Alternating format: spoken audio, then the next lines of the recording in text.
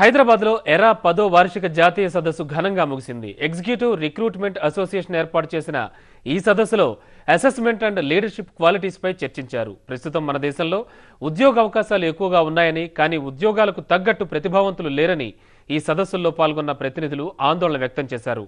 Corporate సంస్థల్లో పనిచేస్తున్న వాళ్ళకి ఇన్నోవేషన్ కమిట్మెంట్ అనేవి చాలా ముఖ్యమని వారంతా అభిప్రాయపడ్డారు.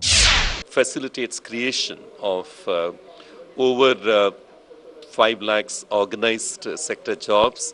If you today see in India, uh, close to 1.8 crores of people come into the job market every year, out of which uh, we have uh, the ability to generate uh, hardly uh, a crore of organized sector jobs, not even a crore. I mean, today uh, hardly know, a million of organized sector jobs only get created. So the rest of them largely get absorbed in the unorganized sector with uh, maybe a million people remaining unemployed. This is the story of Indian uh, employment market.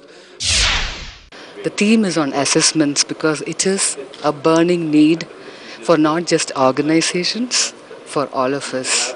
So, what we are doing through the rest of the day, we are actually assess- uh, talking about uh, the assessments at the leadership level, at the critical manager level, and the Gen Y level.